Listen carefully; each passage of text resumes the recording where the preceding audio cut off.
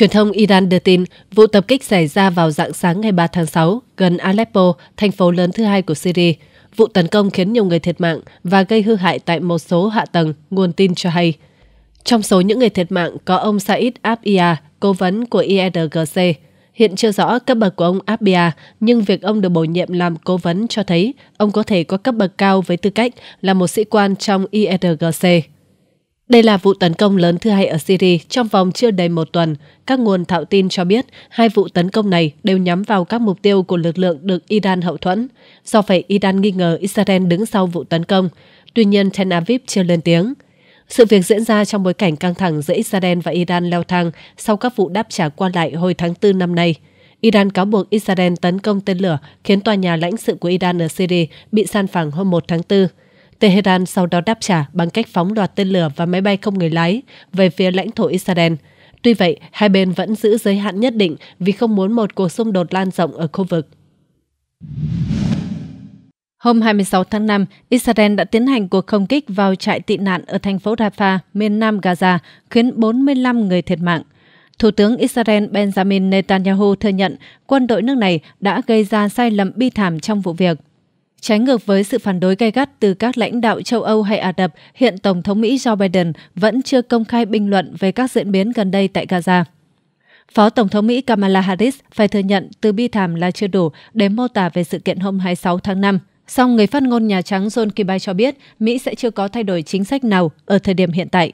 Ông John Kirby nói với báo giới hôm 28 tháng 5, hiện tại tôi không có bất kỳ thay đổi chính sách nào để thông báo. Vụ không kích mới xảy ra thôi, người Israel sẽ điều tra vụ việc. Chúng tôi, tức là Mỹ, sẽ theo dõi chặt chẽ những thông tin có được từ quá trình điều tra này, từ đó chúng tôi sẽ xem xét tình hình. Theo đài CNN, phát ngôn của ông Kirby rõ ràng cho thấy vụ không kích của Israel vẫn chưa vượt qua làn danh đỏ để buộc Mỹ phải thay đổi sự ủng hộ Israel. Chính quyền của Tổng thống Joe Biden dường như sẽ chưa cân nhắc việc đình chỉ vận chuyển vũ khí hoặc viện trợ cho Israel. Ông John Kirby nói rằng hành động của Israel ở Rafah cho đến nay vẫn chưa trở thành một chiến dịch trên bộ lớn. Theo Mỹ, chiến dịch lớn được xác định khi hàng nghìn binh sĩ tiến vào khu vực này. Ông nhấn mạnh nếu điều đó tức là chiến dịch trên bộ lớn xảy ra, nó có thể khiến ông ấy, tức là Tổng thống Biden, phải đưa ra những quyết định khác về sự hỗ trợ với Israel. Chúng tôi chưa thấy điều đó xảy ra vào thời điểm này. Cũng trong ngày 28 tháng 5, các nhân chứng cho biết xe tăng của Israel đã tiến vào trung tâm thành phố Rafah, báo hiệu một giai đoạn mới khi Israel tiếp tục tấn công thành phố phía nam Gaza này bất chấp sự phản đối của quốc tế. Liên quan đến diễn biến điều tra vụ không kích vào ngày 26 tháng 5, trong họp báo vào ngày 28 tháng 5, phát ngôn viên lực lượng phòng vệ Israel Daniel Hagari cho biết nước này đang xem xét khả năng vụ tấn công đã vô tình kích hoạt một kho vũ khí gần đó, làm bùng lên một vụ hỏa hoạn lớn và tàn phá khu trại tị nạn. Ông Kibai cũng cho biết Mỹ sẽ xem xét đánh giá của Israel về sự việc. Ông cũng khẳng định mọi cuộc tấn công đều do Israel lựa chọn mục tiêu và Washington không cung cấp thông tin tình báo nào cho Tel Aviv. Người phát ngôn Bộ Ngoại giao Mỹ Matthew Miller nhấn mạnh hôm 28 tháng 5, ngay sau khi Mỹ nhận được báo cáo về vụ việc này, chúng tôi đã liên hệ với chính phủ Israel để bày tỏ mối quan ngại sâu sắc về những gì đã xảy ra, yêu cầu thêm thông tin và kêu gọi họ tiến hành một cuộc điều tra đầy đủ.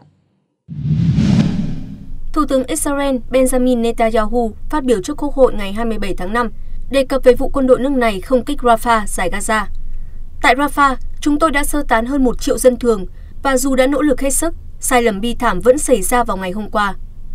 Cơ quan y tế ở giải Gaza cho biết ít nhất 45 người thiệt mạng và 249 người bị thương sau khi Israel ngày 26 tháng 5 không kích vào khu phố Ten al-Sultan ở Rafah, nơi hàng nghìn người đang ẩn náu sau khi sơ tán từ các khu vực khác của giải đất. Ông Netanyahu nói với chính phủ Israel đang điều tra thông tin liên quan thương vong dân thường trong vụ không kích và sẽ sớm đưa ra kết luận.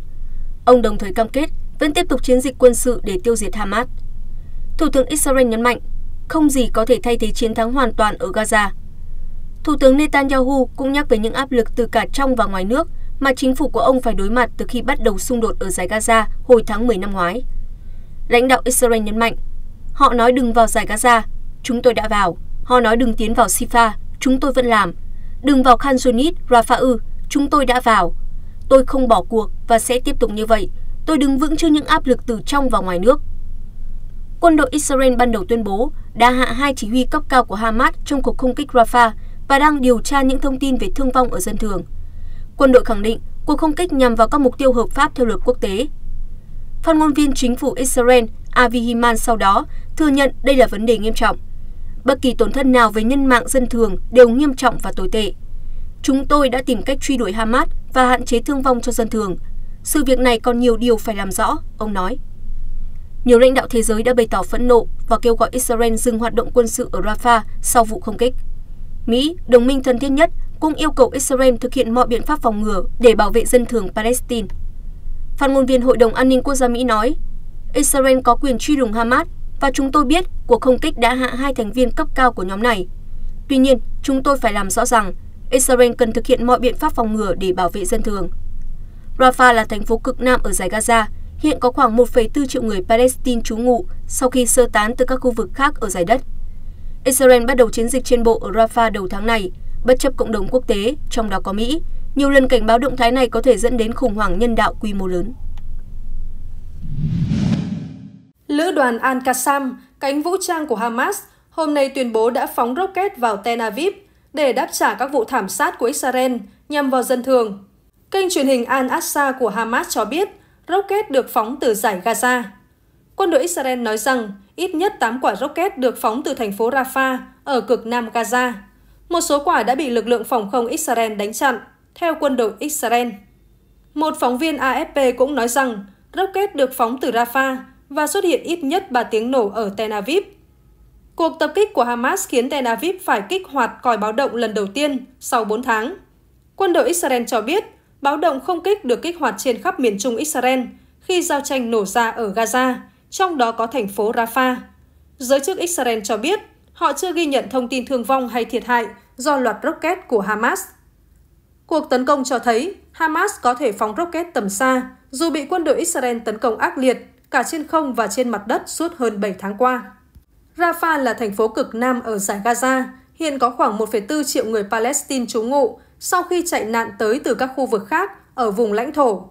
Israel nhiều lần tuyên bố mở chiến dịch trên bộ quy mô lớn vào Rafah để nhổ tận gốc Hamas, dù cộng đồng quốc tế trong đó có Mỹ nhiều lần cảnh báo động thái này có thể dẫn đến khủng hoảng nhân đạo quy mô lớn.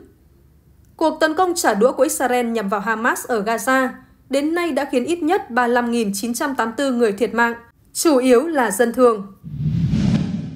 Quân đội Israel xác nhận về cuộc không kích nhằm vào Rafah và cho biết động thái này nhắm mục tiêu vào một cơ sở của Hamas, nơi có các thành viên cấp cao. Trong khi đó, người phát ngôn của Tổ chức Trăng lưỡi liềm đỏ Palestine PRCS tuyên bố số người chết có thể sẽ tăng lên khi công tác tìm kiếm và cứu hộ vẫn tiếp tục ở khu Tan al-Sultan của Rafah, cách trung tâm thành phố khoảng 2 km về phía tây bắc. PRCS khẳng định rằng địa điểm này đã được Israel chỉ định là khu vực nhân đạo và không nằm trong các khu vực mà quân đội Israel đã ra lệnh sơ tán hồi đầu tháng. Cuộc tấn công diễn ra vài giờ sau khi còi báo động vang lên ở Tel Aviv và khắp miền trung Israel, lần đầu tiên kể từ tháng 1. Lực lượng phòng vệ Israel IDF cho biết một loạt 8 quả rocket được bắn từ khu vực Rafah. Hệ thống phòng không của Israel đã chặn hầu hết các rocket. Một số chuyến bay tại sân bay Ben Gurion đã bị hoãn hoặc hủy. Lữ đoàn Al-Qassam, cánh vũ trang của Hamas tuyên bố trên Telegram rằng lực lượng này đã tiến hành vụ tấn công và các rocket được phóng để đáp trả cuộc thảm sát nhằm vào người dân thường. Sau vụ việc, thành viên nội các chiến tranh của Israel, ông Benny Gantz khẳng định cuộc tấn công hôm nay từ Rafah là bằng chứng cho thấy IDF phải hành động ở bất cứ nơi nào mà Hamas hiện diện. Theo hãng tin Reuters, các chuyên gia nhận định Israel sẽ gặp ít khó khăn khi tấn công các mục tiêu nằm trong lãnh thổ Iran. Theo họ, Iran sở hữu lực lượng không quân, không được cập nhật và hệ thống phòng không trong nước, chủ yếu dựa trên các mẫu cũ của Nga. Vụ tấn công hôm 13 tháng 4 bằng loạt máy bay không người lái UAV và tên lửa của Iran đã chứng minh sức mạnh của kho vũ khí trên không và hệ thống phòng thủ đáng gờm của Israel – theo Israel, hàng trăm tên lửa đạn đạo, tên lửa hành trình và UAV của Iran chỉ gây ra thiệt hại nhỏ cho nước này. Ông Zvika Haimovic, cựu tướng không quân Israel cho biết Iran là siêu cường về tên lửa đạn đạo chiến thuật và UAV. Tuy nhiên, hệ thống phòng không Iran lại được xây dựng chủ yếu dựa trên các hệ thống tên lửa phòng không S-200 và S-300 của Nga hoặc các hệ thống nội địa như Bava 373, Kodat, Daat, Seyat và Talas cùng các máy bay cũ của Mỹ và Nga và một số loại có từ những năm 1970. Đáng nói, Iran đã triển khai các hệ thống tương tự ở Syria từ năm 2015 và giúp cho phi công Israel có được nhiều năm tích lũy trong việc đối phó.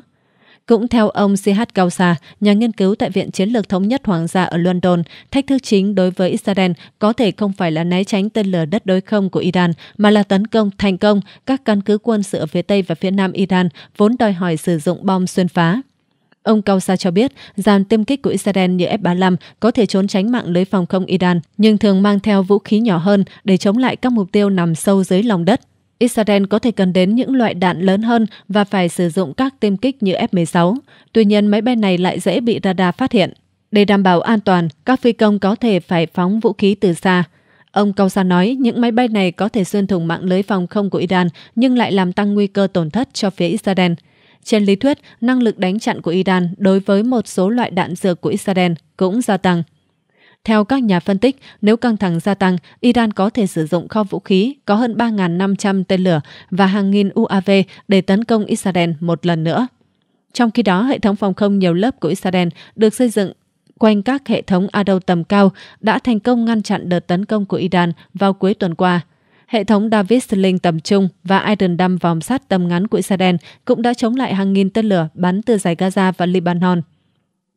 Tuy nhiên, chi phí cho hoạt động đánh chặn tên lửa với Israel không hề nhỏ, mặc dù giới chức Israel không đưa ra thông tin chi tiết, nhưng theo tính toán của một số nhà phân tích, vụ tấn công đã khiến Iran tiêu tốn 80 tới 100 triệu đô la Mỹ, song phía Israel và các đồng minh đã phải chi khoảng 1 tỷ đô la Mỹ để đẩy lùi.